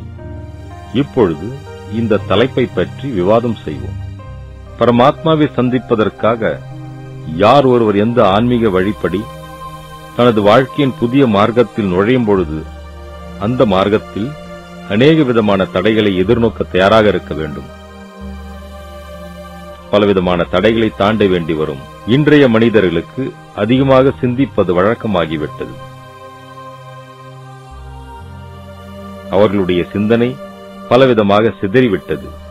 மேலும் சித்தம் உலகிய வீணான பொருள்களின் மீது அலைகின்றது. இந்த பாதையில் ஒருவருக்கு மிகப்பெரிய தடையாக இருப்பது அவருடைய மனமாகும். மேலும் இந்த மார்க்கத்தில் இருந்து உங்களை விளக்குவதற்கு பிறர் மூலமாகவும் தடைகள் குழப்பங்கள் வரலாம். மனதில் எழக்கூடிய வெவ்வேறு விதமான சிந்தனைகளின் பிரபாவம் ஒருவரை அமைதியாக ஒரு நிலையில் இருக்க விடுவதில்லை.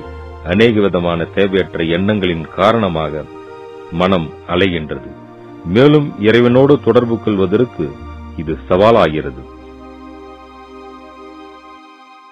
இவ்வாறு எப்போதெல்லாம் வீணான மற்றும் தேவையற்ற சிந்தனைகள் எழும்போது அர்த்தமுள்ள அவசியமான தேவையான எண்ணங்களை கொண்டு வருவதற்கு பயிற்சி செய்ய வேண்டும். இதற்காக தன் மீது சுய அதிகாரம் வேண்டும். மனதை கட்டுப்படுத்த வேண்டும் தனக்கு தானே புரிய வைக்க வேண்டும் உற்சாகம் அளிக்க வேண்டும். என் மனதை சரிப்படுத்த வேறு யாராவது வர வேண்டும் என்று நினைக்கக்கூடாது. இந்த வாழ்க்கை எனக்கும் பரமாத்மாவிற்கும் இடைப்பட்ட வாழ்க்கையாகும். இதில் வேறு யாருக்கும் இடமில்லை.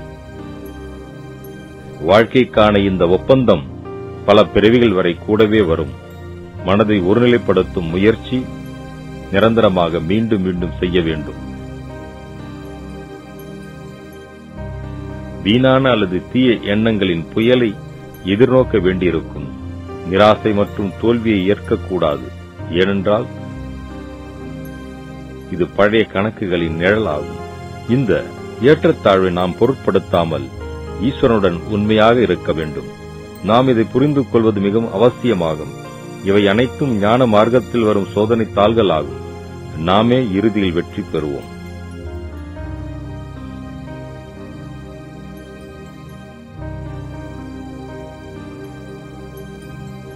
பலர் மனக்குழப்பத்தின் காரணமாக துரதிருஷ்டவசமாக தனது தெய்வீக தேடுதலை விட்டு விடுகின்றார்கள். ஆனால் ஆன்மீகத்திற்கான முயற்சியே பலவிதமான அழகான அனுபவங்களை தருகிறது. நாம் இதன் மூலம் மேலும் சக்திசாலியாகின்றோம். ஈஸ்வரனுடனான அனுபவமே மிகப்பெரிய தூண்டுதல் ஆகும் எப்பொழுதும் தனக்குத்தானே வாழ்வின் குறிக்கோளை பற்றி பேச வேண்டும். தனக்குத்தானே சாந்தி மற்றும் திருப்தியின் லாபத்தை நினைவு செய்து கொண்டே இருக்க வேண்டும். ஒவ்வொரு அனுபவமும் தனிப்பட்டதாகும். மற்றும் வாழ்க்கையில் புதுமையும் பன்முகத் தன்மையும் தருகிறது. தன் மீது சிறிது கவனம் பொறுமை மற்றும் நிரந்தர பயிற்சி மூலம் விரைவில் மிக எளிதான மட்டுமல்லாமல் ஒரு அற்புதமான அனுபவத்தை பெற முடியும்.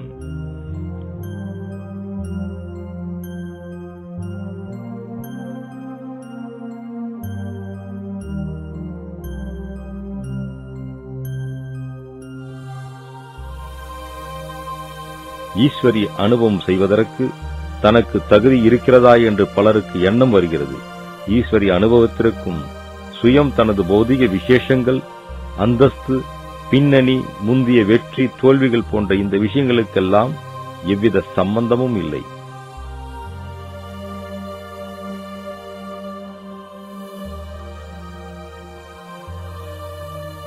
இதை போன்று பெயர் ரூபம் வயது தூரம் நேரமாகி இதற்கும் எந்தவிதமான மகத்துவமும் இல்லை. இவை அனைத்திற்கும் மேலாக நான் உடல் அல்ல ஆத்மா என்ற நினைவு ஒவ்வொரு நொடியும் வேண்டும்.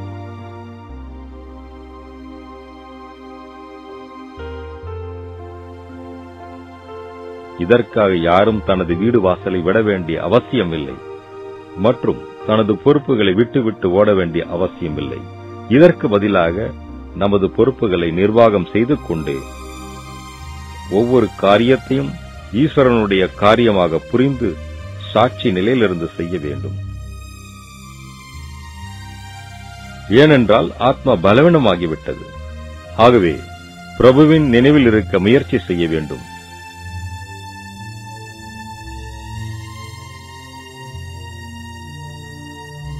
உடல் உடல் கவர்ச்சி ஆன்மீக மார்க்கத்தில் பெரிய எதிரியாகும். இது இறைவனிடமிருந்து நமது கவனத்தை வேறு பக்கம் திருப்பிவிடும். எனவே அத்தகைய ஏற்ற தாழ்வுகளிலிருந்து விடுபடுவதற்கு எச்சரிக்கையாக பயிற்சி செய்து நமது மனதை இறைவனோடு இணைக்க வேண்டும்.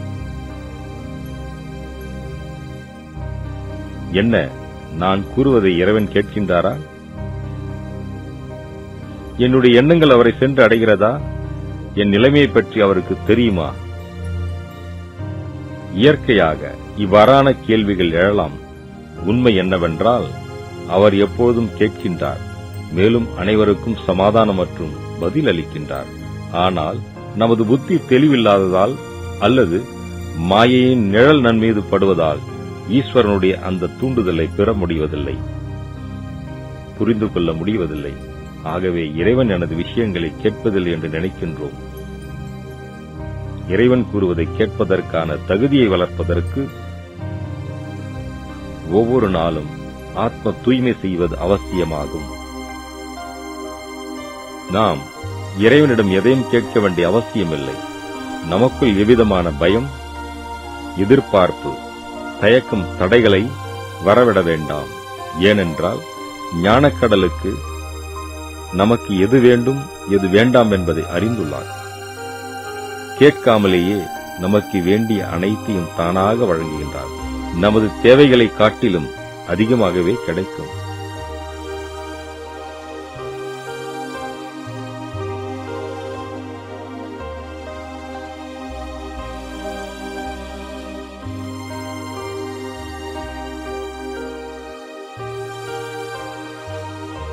இறைவனுக்கு எது செய்யக்கூடாது எது செய்ய வேண்டும் என்பதை நினைவுபடுத்த வேண்டிய அவசியமில்லை. ஆனால் நாம் செய்ய வேண்டியது அவர் மீது திட நம்பிக்கையுடன் எவ்வித சந்தேகமும் இல்லாமல்.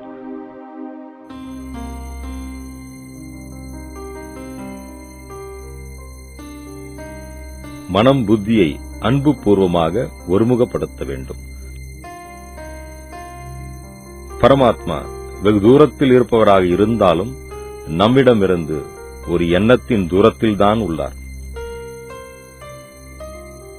நாம் பரமாத்மாவை சர்வ சக்திவான் என்று கூறுகின்றோம். அவர் சர்வ சக்திவான் என்றால் அந்த சக்திகளை பற்றி புரிந்து கொள்ள வேண்டியது அவசியமாகும். அவர் நமக்கு ஆளுமை சக்தி நிர்ணய சக்தி இச்சா சக்தி திடத்தாவின் சக்தி கொடுக்கின்றார்.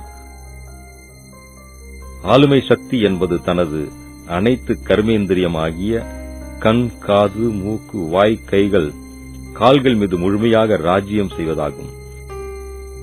நிர்ணய சக்தி என்பது தனது மனம் சொல் மற்றும் கர்மத்தினை கட்டுப்பாட்டில் வைப்பதாகும். இச்சா சக்தி என்பது நாம் எதை சிந்திக்க வேண்டுமோ எதை செய்ய வேண்டுமோ அதையே சிந்திக்க அதையே செய்வதற்கான பலத்தை அளிக்கிறது. எது சிந்திக்க கூடாதோ எது செய்யக்கூடாதோ அதற்கான பலமும் கிடைக்கிறது. திடத்தா சக்தி என்பது எது நடந்தாலும் சரி நாம் நமது வாழ்க்கையின் கோட்பாட்டின்படி நடப்பதாகும். இந்த சக்திகள் இல்லாததால் மனிதன் அமைதியற்றவனாகவும் பலவீனமாகவும் உள்ளான். பரமாத்மாவை நினைவு செய்வது என்பது இந்த சக்திகளை பிராப்தி செய்வதாகும். நம்மால் முடியாத காரியத்தை கூட முடிப்பதற்கான உறுதி கிடைக்கிறது. பரமாத்மாவின் நினைவு நம்மை கர்ம எந்திரியங்களின் மீது ராஜாவாக்கிறது. சுயம் தன் மீது கட்டுப்பாடு கிடைக்கின்றது. இதுவே ராஜயோகமாகும். சுய கட்டுப்பாடு மூலம் கடினமான சூழ்நிலையிலும் திருப்தியாகவும் மகிழ்ச்சியாகவும் இருப்பதற்கான நிலையை கற்றுக்கொள்கின்றோம். சமாதானம் செய்யும் சக்தி.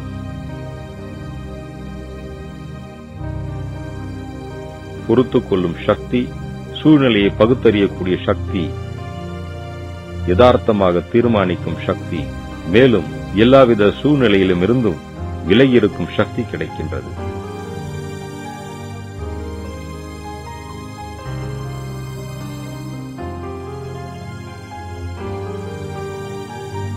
பரமாத் இதுவரை நாம் பரமாத்மாவை பற்றி பல விஷயங்களை விவாதித்தோம். இப்பொழுது நாம் சுயம் பரமாத்மாவுடனான அனுபவத்தை செய்வோம்.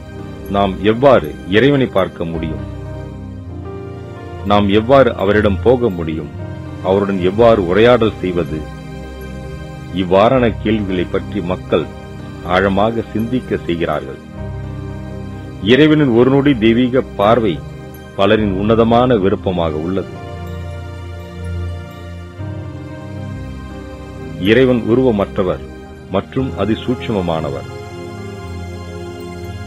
நாம் தேகதாரியை பார்ப்பது போல் அவரை பார்க்க முடியாது. எவ்வாறு நாம் மனிதர்களிடம் பரஸ்பரமாக பேசுவது போன்று இறைவனோடு பேசவோ அவரின் விஷயங்களை கேட்கவோ முடியாது. இவ்வாறு பௌதிகமாக இறைவனை சந்திக்கவோ அவரிடம் பேசவோ பார்க்கவோ வேண்டும் என்று நினைப்பது புத்திசாலித்தனம் அல்ல இறைவனின் மகா வாக்கியமானது நீங்கள் என்னை நினைவு செய்தீர்கள் என்றால் என்னிடம் வந்து விடுவீர்கள் நாம் இறைவனை சென்றடைவதற்கான ஒரே வழி அவரின் நினைவாகும். பரமாத்மா மிகவும் அன்பானவர் மற்றும் இனிமையானவர். அவரின் இந்த இனிமையும் அன்பையும் அவரை அன்புள்ளத்தோடு நினைவு செய்வதன் மூலமே அனுபவம் செய்ய முடியும்.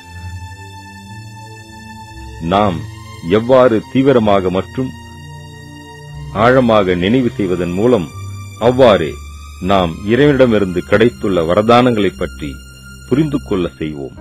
இறைவனுடனான உறவை மட்டுமல்லாமல் தனது மனித குலத்தின் மீதான கடமையையும் ஒருவர் உணர்ந்து கொள்வார்.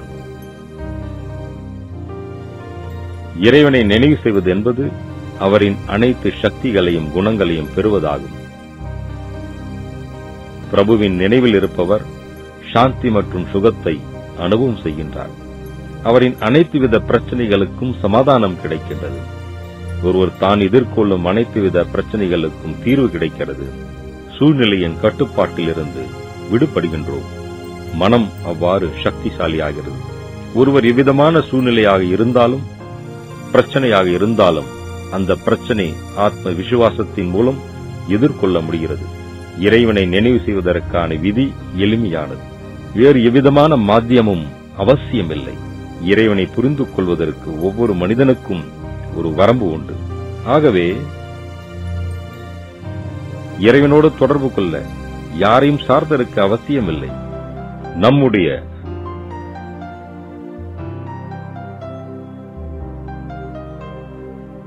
தேக உணர்வு தேக சம்பந்தம் தேக பதார்த்தத்திலிருந்து புத்தி யோகத்தை நீக்குவதற்கான முயற்சி செய்து கொண்டே இருக்க வேண்டும். தூய்மை மற்றும் முழு விழிப்புணர்வுடன் புரிந்து கொண்டு இதை மீண்டும் மீண்டும் நினைவில் கொண்டு வர வேண்டும். நான் ஒரு ஆத்மா. நெற்றியின் இரு புருவ மத்தியில் அமர்ந்துள்ளேன்.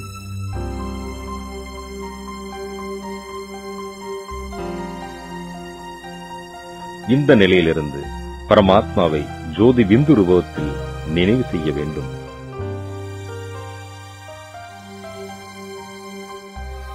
பரமாத்மாவின் விசேஷ குணங்களை. அதாவது ஞானக்கடல் கடல் அமைதிக்கடல் கடல் தூய்மை கடல் சுகக்கடல் சக்தியின் கடல் ஆகிய இவற்றை சிந்தனை செய்ய வேண்டும். இதன் கூடவே இறைவனுடன் சர்வ சம்பந்தமாகிய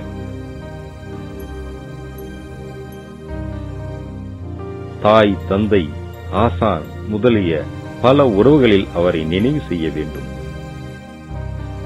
பரமாத்மாவின் திவ்ய விசேஷங்களை மகிமைகளை நினைவு செய்ய வேண்டும். இவ்வாறு சிந்தனை செய்யும் நான் சைத்தன்யமான ஆத்மா எவ்வாறு நான் ஆத்மா இந்த உடலில் இருந்து தனிப்பட்டவனாக இருக்கின்றேன் இந்த நிலையில் எவ்வளவு அதிக நேரம் இருக்க முடியுமோ அவ்வாறு இருக்க வேண்டும். இது சகஜமான முறையில் சுபாவமாக மாறும் வரை இந்த பயிற்சியை இடைவிடாமல் செய்ய வேண்டும். பரமாத்மாவின் உள்ளத்தை வெல்வதற்கும் தன்னுடையவராக்குவதற்கும் நாம் நேர்மையானவராக இருக்க வேண்டும். அவரிடமிருந்து அன்பு அமைதி ஞானம் சுகம் தூய்மை ஆனந்தம் சக்திகள் ஆகிய அனைத்தையும் பெறுவதற்கு முழுவதும் தூய்மையாக மாற வேண்டும். சுய பரிவர்த்தனை மேலும் சுய பரிவர்த்தனையின் மூலம் உலக அமைதிக்காக யார் யோகதானம் அளிக்கிறாரோ அவர் தானாகவே பரமாத்மாவின் உதவியை பெறுவதற்கு தகுதியானவராகின்றார் யார் ஆன்மீக வாழ்க்கையில் நல்லொழுக்கத்தோடு தைரியத்தோடு உறுதியோடு வீரத்தோடு ஒவ்வொரு அடியும் முன்னே செல்பவருக்கு கண்டிப்பாக இறைவனிடமிருந்து நூறு சதவீதம் உதவியை பெறுகிறார். ஆனால் நாம் தான் முதலடி எடுத்து வைக்க வேண்டும்.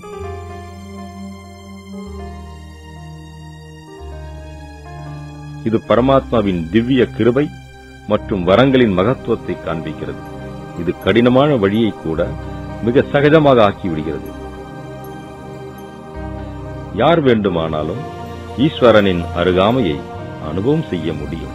இந்த அனுபவம் தேகதாரிகளின் அருகாமையில் இருக்கும் அனுபவத்தையும் விட பல மடங்கு ஆழமானது. இதன் மூலம் நாம் வாழ்க்கையில் யதார்த்தமான லட்சியம் மற்றும் குறிக்கோளை புரிந்து கொள்கின்றோம். நமது குறிக்கோள் சம்பூர்ணமான ஆத்ம அனுபூதி மற்றும் பரமாத்ம அனுபூதி செய்வதாகும். மேலும் பிறருக்கு இந்த சிரேஷ்டமான வழியை புரிந்து கொள்ள உதவி செய்ய வேண்டும். தேகாபிமானத்திலிருந்து விடுபட்டு பரமாத்மாவை மிக அன்போடு நினைவு செய்வதன் மூலம் மிக உயர்ந்த அனுபவங்களை பெறலாம். இந்த வாழ்க்கையில் எல்லையற்ற திருப்தி மற்றும் சந்தோஷம் கிடைக்கும். வாழ்வில் நடந்து முடிந்த நமக்கு பிடிக்காத நிகழ்வுகளின் காரணமாக துன்பம் நிராசை மற்றும் அசாந்தியின் காயங்கள் மனதில் ஏற்படுகிறது. இந்த காயங்கள் பிரபுவின் நினைவு மூலமாக நீங்குகிறது. எவ்வாறு டிஸ்சார்ஜ் பேட்டரியை மின்சாரத்தோடு இணைத்து மீண்டும் சார்ஜ் செய்வது போன்று ஆத்மாவை மீண்டும் முழுவதுமாக நிரப்ப வேண்டும். இதன் மூலம் ஆத்மா சக்தியால் நிரம்பி மீண்டும் உயிர்ப்பிக்கப்படுகிறது. மகிழ்ச்சி மலர்கின்றது. ஆத்மா மீண்டும் தூய்மையாக லேசாக மற்றும் சாந்த சுரூபமாகிறது. இந்த நிலையில் ஒருவர் ஈஸ்வரனுடன் ஆன்மீக உரையாடல் ஈஸ்வரனை பார்ப்பது அவரை அடைவது பற்றிய யதார்த்தமான புரிதல் பிராப்தியாகிறது.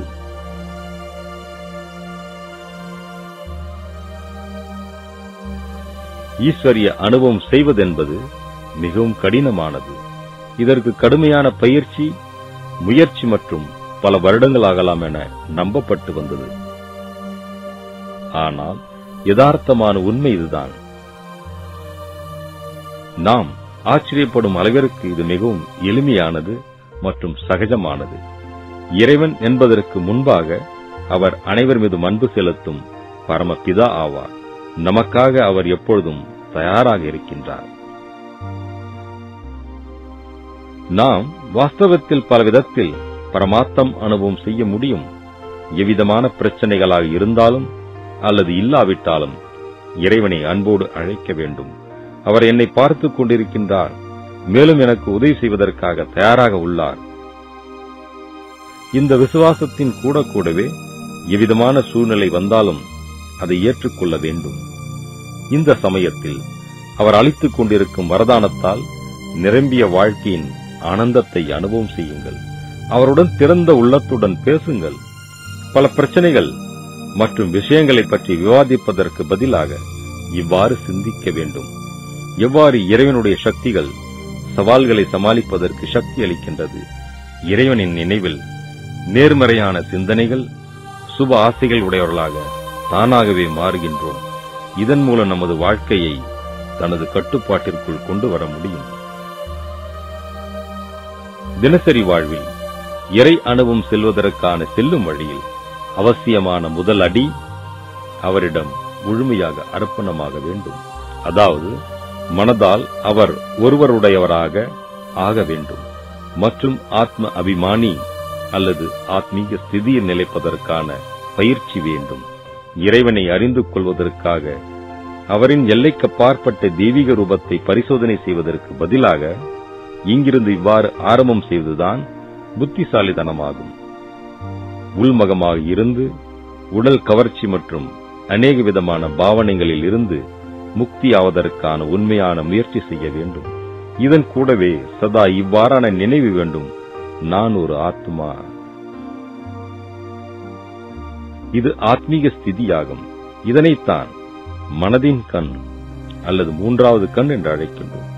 தெளிவான உணர்விலிருந்து திடமான உறுதியோடு பயிற்சி செய்ய வேண்டும். நான் ஒரு ஆத்மா என்பது நமக்கு இயற்கையாகிவிட வேண்டும். இந்த உணர்வூட்டமான நிலையில் ஒருவன் இறைவனின் விசாலமான சொரூபத்தை மற்றும் அவரின் எல்லையற்ற மகிமைகளாகிய அனைத்து குணங்கள் மற்றும் சக்திகளின் கடலை அனுபவம் செய்ய முடியும். இதுவே பரமானந்தத்தில் மூழ்கியிருக்கும் பூர்ணமான நிலையாகும். ஒருவர் இதில் அனைத்தும் நிரம்பிய பரம திருப்தியை அனுபவம் செய்கின்றார்.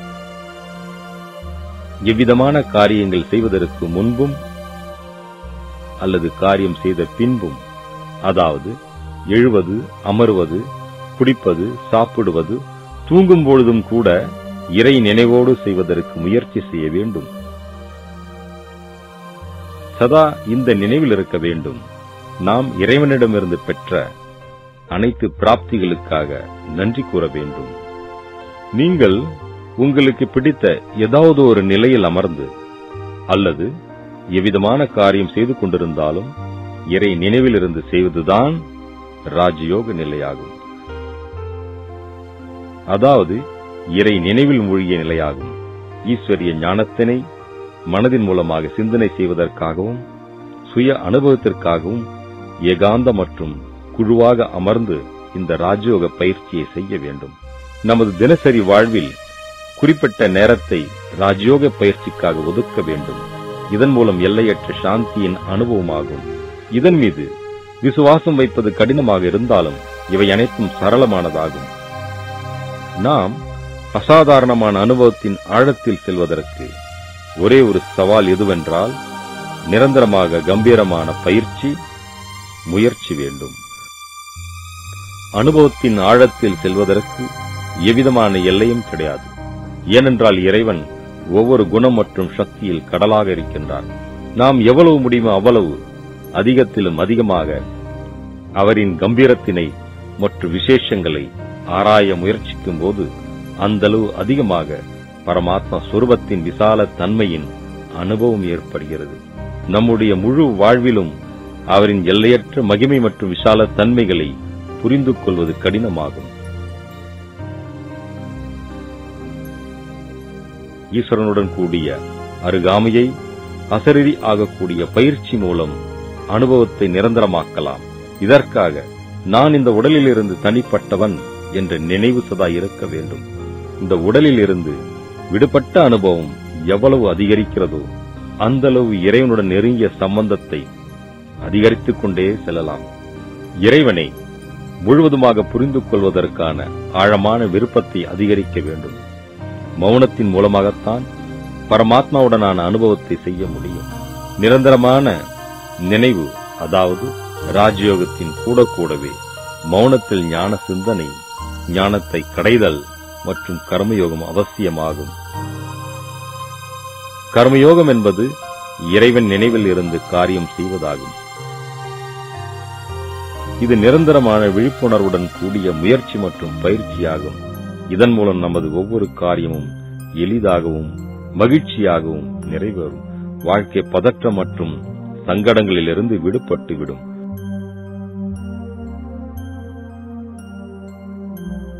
வாழ்க்கையில் ஒவ்வொரு இடத்திலும் எவ்வித காரியமாக இருந்தாலும் சரி இறைவனுடைய உதவி கரங்கள் கிடைப்பது அனுபவமாகும்.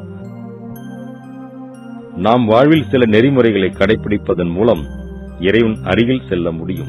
இது நமது நடைமுறை வாழ்வில் அவரின் அன்பு மற்றும் ஆழமான அனுபவங்களை கொடுக்கும். அதாவது தூய்மை நேமப்படி யோக பயிற்சி ஆகும். வாழ்க்கையில் தூய்மை என்பது பிரம்மச்சாரியமான வாழ்க்கை தூய்மையான சாத்விக உணவு அதாவது இறைவன் நினைவோடு சமைக்கப்பட்ட உணவை உண்ண வேண்டும். அதிகாலையில் இரண்டு மணி முதல் ஐந்து மணி வரை இடைப்பட்ட நேரத்தில் ராஜயோக தியான பயிற்சி. இது பரமாத்மாவின் அருகில் நம்மை கொண்டு செல்லும். ஏனென்றால் இந்த நேரத்தில் வாயுமண்டலம் சாந்தியாகவும் நிர்மலமாகவும் இருக்கும். மேலும் ஈஸ்வரிய அன்பிற்காக ஏதாவது தியாகமும் செய்ய வேண்டும். நாம் அவரிடமிருந்து பெற்றுள்ளதோடு ஒப்பிடும் பொழுது இந்த தியாகம் பெரிய விஷயமல்ல. இந்த தியாகம் நம்மை பாக்கியசாலியாக்குகிறது. ஆத்ம திருஷ்டி மற்றும் உள்ளுணர்வுக்கான பயிற்சி ஒருவரை மிக உயர்வான நிலைக்கு கொண்டு செல்கிறது. பிறருடன் சந்திப்பு சம்பந்தம் விவகாரத்தில் வரும்பொழுது இந்த நினைவு சதா இருக்க வேண்டும். அதாவது நான் ஆத்மா இறைவனுடைய குழந்தை என்ற இந்த புரிதல் மற்றும் நினைவு பிறருடைய சம்பந்தத்தை எப்பொழுதும் சமரசமாக வைக்கும் மற்றும் எவ்விதமான எதிர்பார்ப்பற்ற பாவனையாக இருக்கும். நமது தினசரி வாழ்வில் பரமானந்தத்தின் அனுபவம் ராஜயோகத்தின் பிரயோகம் மூலம் செய்யலாம். நாம் முயற்சியில் முன்னே செல்ல செல்ல நமக்கு பரமாத்மாவுடன் நேரடியான தொடர்பு மற்றும் மார்க்க தரிசனம் கிடைக்கிறது.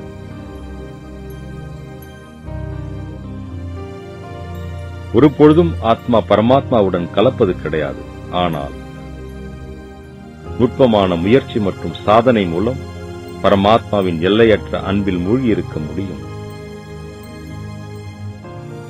இந்த தெய்வீக அனுபவத்தை வார்த்தைகளால் வர்ணிக்க முடியாது. இத்தகைய தனித்தத்துவமான சக்தி வாய்ந்த தனிப்பட்ட அனுபவங்கள் இறைவனோடு நமது தெய்வீக சந்திப்பிற்கான அடிப்படை ஆதாரமாக அமைகின்றது. மேலும் நாம் இப்பொழுது நிச்சயிக்கப்பட்ட ரூபத்தில் அழியாத பரமாத்மாவை பற்றி சம்பூர்ணமாக தெரிந்து கொண்டோம். இதன் மூலம் நாம் மிக உயர்ந்த நிலையை அடைகின்றோம். இந்த முழு பிரபஞ்சத்திற்கும் அதிபதியாவார். அவர் நாம் அனைவருடைய மனதின் பாவனை மற்றும் எண்ணங்களையும் மேலும் நமது கடந்த காலம் நிகழ்காலம் மற்றும் எதிர்காலத்தை பற்றியும் முழுமையாக அறிந்துள்ளார். அவர் அனைவரையும் நிரந்தரமாக ஒரே மாதிரியாக எல்லா காலத்திலும் அன்பு செலுத்துகின்றார்.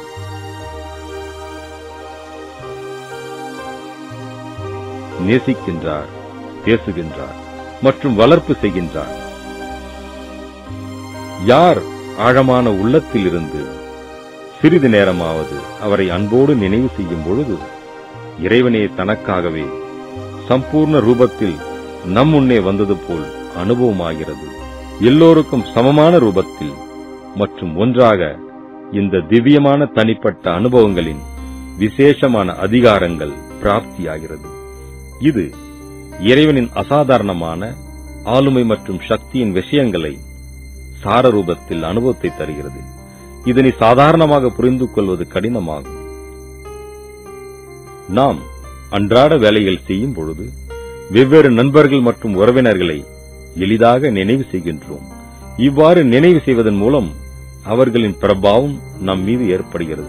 இப்பொழுது இதற்கான நேரம் வந்துவிட்டது. ஒவ்வொரு நேரமும் இறைவனின் தொடர்பில் இருப்பது அவசியமாகும். மேலும் நமது அன்றாட வாழ்வில் அவருக்காக விசேஷமான இடத்தை ஒதுக்க வேண்டும். வாருங்கள் நாம் பரமாத்மாவை அதிகத்திலும் அதிகமாக நினைவு செய்வோம். ஏனென்றால் அவருடைய குணம் மற்றும் சக்திகள் மட்டுமே நம்மை பிரபாவிக்கட்டும்.